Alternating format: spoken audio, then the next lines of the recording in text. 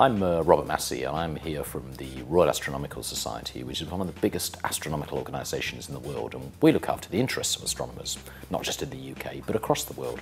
What I'm going to do today is give you a few pointers to get you started in astronomy, which I think is one of the most incredibly interesting subjects there is.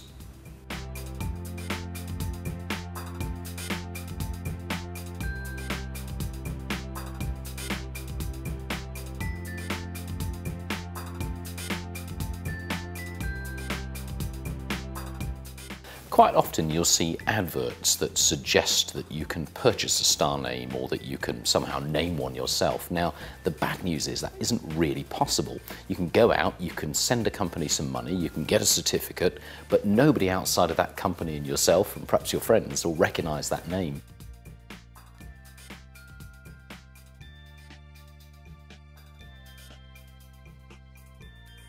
Unfortunately, the only official way to name a star is via something called the International Astronomical Union, a body that designates all of these things, and it's only through them that you can name a star.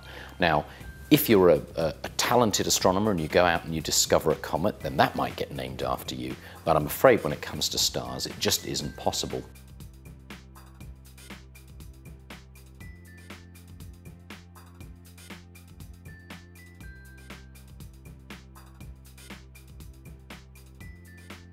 The same goes for things like planets and asteroids. It isn't like you can just decide that you want to name something like that. Unfortunately, it's a bit more complicated. So my advice is if you've got a bit of money, you're thinking about naming a star, don't spend it on that. Go and buy yourself a telescope or a pair of binoculars instead and enjoy astronomy that way.